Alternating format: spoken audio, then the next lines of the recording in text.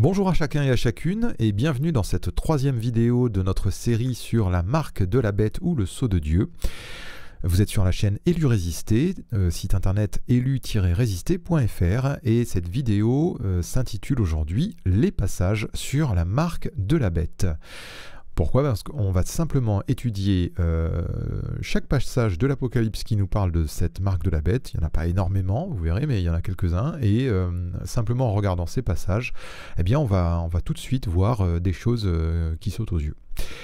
Alors, juste avant, on va faire une petite parenthèse parce que j'ai tronqué un verset dans la vidéo précédente. Enfin, en tout cas, je ne vous ai pas parlé de ce verset 10 de Apocalypse 13.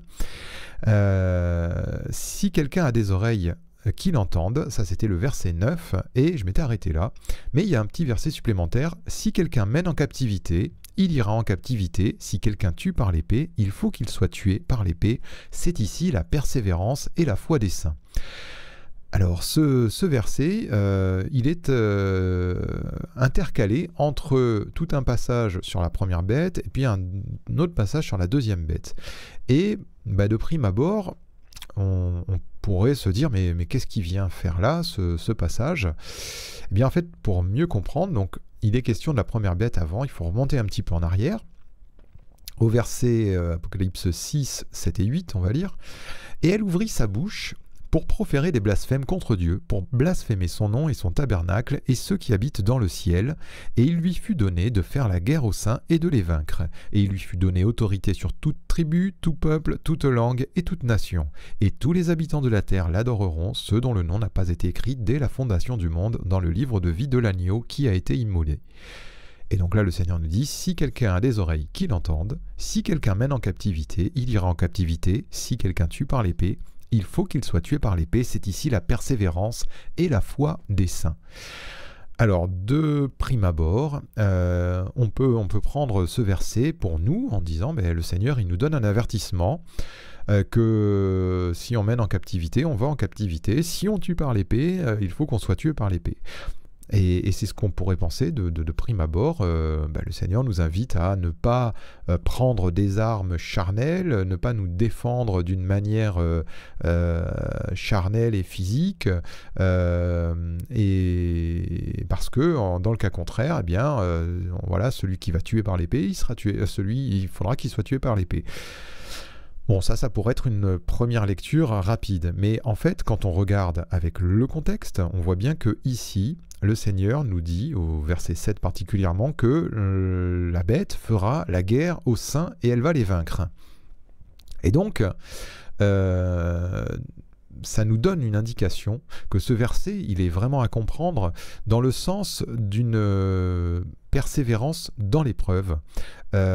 pourquoi? Parce que le Seigneur va nous dire rappelez-vous que euh, celui qui mène en captivité, eh bien, il ira en captivité. Un peu comme si le Seigneur nous disait, eh bien, écoutez, si vous, vous êtes mené en captivité, celui qui vous aura mené en captivité, eh bien, il sera jugé, il ira lui aussi en captivité. De la même manière, si vous êtes tué par l'épée, eh bien, euh, celui qui vous a fait ce mal, il sera lui-même tué par l'épée.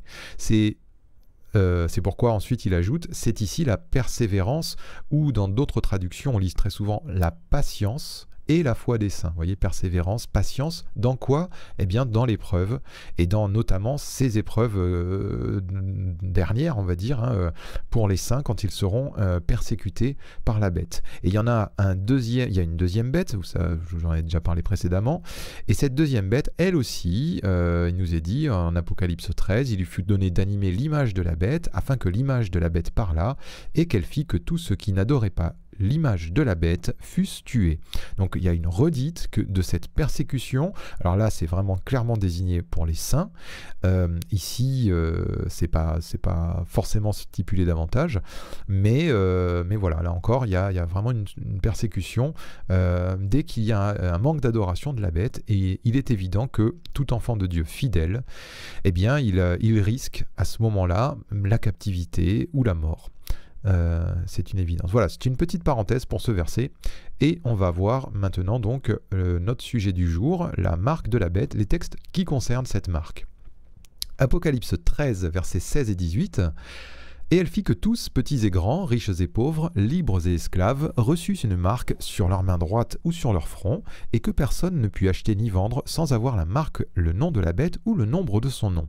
C'est ici la sagesse que celui qui a de l'intelligence calcule le nombre de la bête, car c'est un nombre d'hommes, et son nombre est 666. Second texte, Apocalypse 14, à versets 9 à 11. Et un autre, un troisième ange, les suivit en disant d'une voix forte Si quelqu'un adore la bête et son image et reçoit sur le front ou sur sa main, et reçoit une marque pardon, sur le front ou sur sa main, il boira lui aussi du vin de la fureur de Dieu versé sans mélange dans la coupe de sa colère, et il sera tourmenté dans le feu et le soufre devant les saints anges et devant, et devant l'agneau. Et la fumée de leur tourment monte au siècle des siècles, et ils n'ont de repos ni jour ni nuit, ceux qui adorent la bête et son image, et quiconque reçoit la marque de son nom. Texte suivant Apocalypse 16, verset 2. Le premier alla et il versa sa coupe sur la terre, et un ulcère malin et douloureux frappa les hommes qui avaient la marque de la bête et qui adoraient son image. Apocalypse 19 et verset 20. Et la bête fut prise, et avec elle le faux prophète qui avait fait devant elle les prodiges par lesquels il avait séduit ceux qui avaient pris la marque de la bête et adoré son image. Ils furent tous les deux jetés vivants dans l'étang ardent de feu et de soufre. Et enfin, dernier texte, Apocalypse 20 et verset 4. Et je vis des trônes, et à ceux qui s'y assirent fut donné le pouvoir de juger. Et je vis les âmes de ceux qui avaient été décapités à cause du témoignage de Jésus et à cause de la parole de Dieu, et de ceux qui n'avaient pas adoré la bête ni son image, et qui n'avaient pas reçu la marque sur leur front et sur leurs mains. Ils revinrent à la vie, et ils régnèrent avec Christ pendant mille ans. Voilà, donc euh, voilà tous ces textes. Euh, alors j'ai pas pris le soin de mettre tout le contexte pour pas alourdir parce que ça ferait beaucoup à lire. Euh, mais je vous invite, vous avez les références, je vous invite si vous le souhaitez à lire les contextes parce que c'est intéressant parce qu'on voit qu'à chaque fois c'est des contextes différents, très différents et, et que donc bien que les contextes soient différents, on va voir, ce que je vais vous montrer euh, ben, là tout de suite, on va dire, euh, on va voir que ça apparaît systématiquement. Euh, donc, on va commencer par, vous voyez, j'ai indiqué des verbes avec plusieurs couleurs. Le verbe reçus, le verbe avoir et qui avait, et ensuite le verbe reçoit, reçoit, qui avait pris qui n'avait pas reçu. Et pourquoi j'ai mis ces couleurs différentes? Parce qu'elles correspondent au mot grec qui est utilisé pour ces verbes-là. Alors la première remarque, on est dans la traduction Louis II, hein, moi c'est celle que j'utilise euh, habituellement, mais on peut le regarder dans bien des traductions, et je vous en parlerai tout de suite après. Euh, on voit qu'il n'y a jamais impose aucun verbe imposé. Et on va voir quels verbes euh, grecs ont été utilisés et ce qu'ils veulent dire. Euh, alors j'ai je vais prendre tout de suite la première. Donc le, premier verbe, euh, ce verbe recevoir de, ce, premier passage, c'est le verbe didomi qui signifie donner, donner quelque chose à quelqu'un de son propre accord, accorder, répondre à une demande, fournir les choses nécessaires, donner, délivrer, donner ce qui est dû ou obligatoire, payer le salaire, se donner à quelqu'un de soi-même, le suivre comme un maître, admettre ou permettre. Vous voyez, le sens euh, n'est en rien opposé, euh, euh, imposé ou quoi que ce soit de, contraint, donc contraignant. Mais au contraire, c'est plutôt quelque chose que on fait avec l'accord de la personne. Le deuxième verbe, c'est le verbe écho.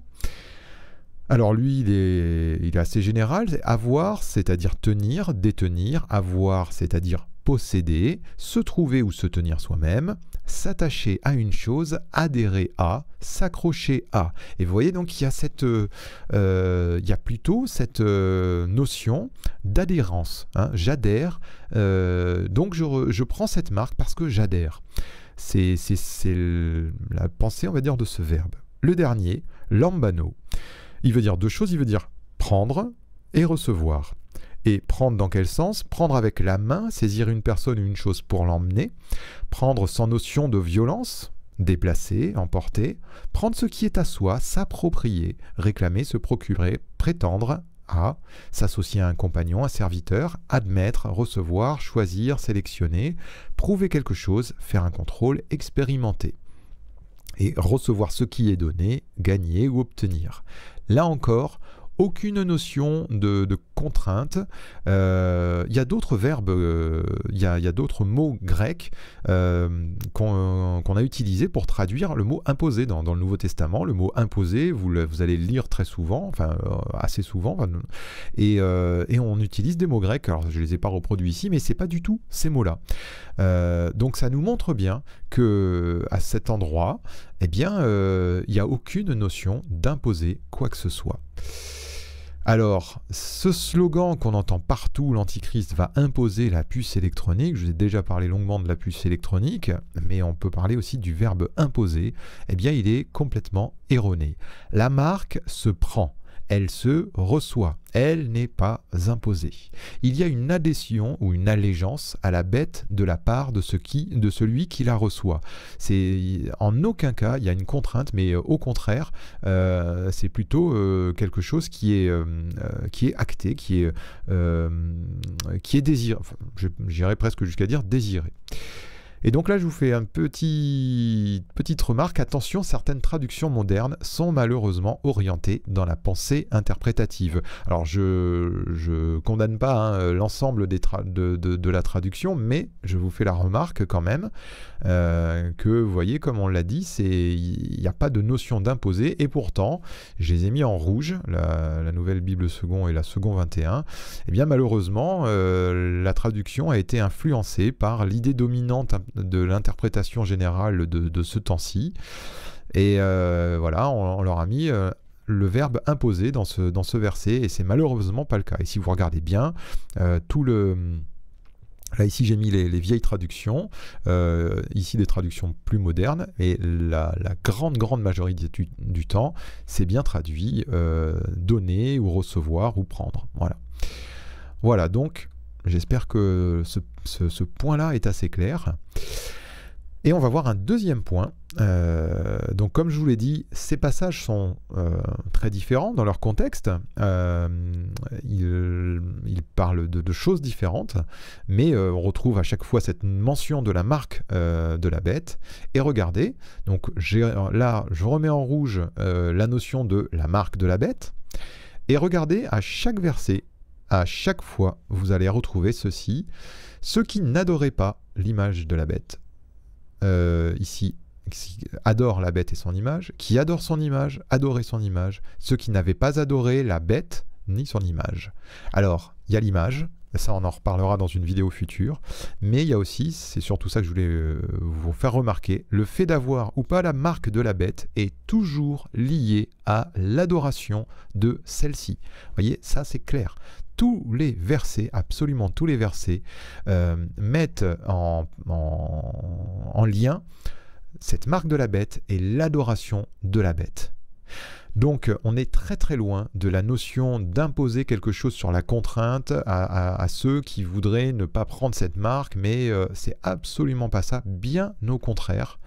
La notion d'adoration, de, elle est liée euh, toujours à cette marque de la bête. Les passages bibliques sur la marque nous montrent donc deux choses. Que la marque se prend ou nous est donnée, mais elle n'est pas imposée. Et que celui qui la reçoit a également pour dessein d'adorer la bête. Voilà, bah écoutez, on ne va pas plus loin pour aujourd'hui. J'espère que ces choses, euh, vous les remarquez. Et je voudrais vous dire euh, que ce que moi je peux vous dire, ou que d'autres personnes peuvent euh, vous enseigner sur ces passages, ça n'est pas ce que vous devez retenir. Ce que vous devez retenir, c'est ce que l'Esprit du Seigneur Jésus lui-même déposera dans votre cœur. Et pour cela, eh bien, Là, moi, je vous ai fait part de, certaines choses. Euh, vous les avez écoutées.